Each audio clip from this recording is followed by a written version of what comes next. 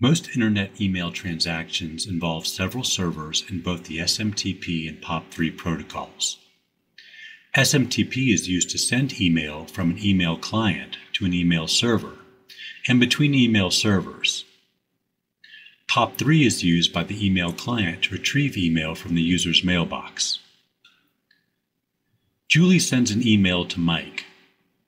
Julie's client program contacts the SMTP server configured in the client's outgoing email settings. The SMTP server places the mail in a queue. From there, the mail is delivered to the SMTP server for the destination domain. Once the mail arrives at the domain, it is transferred to the POP3 server that contains Mike's mailbox.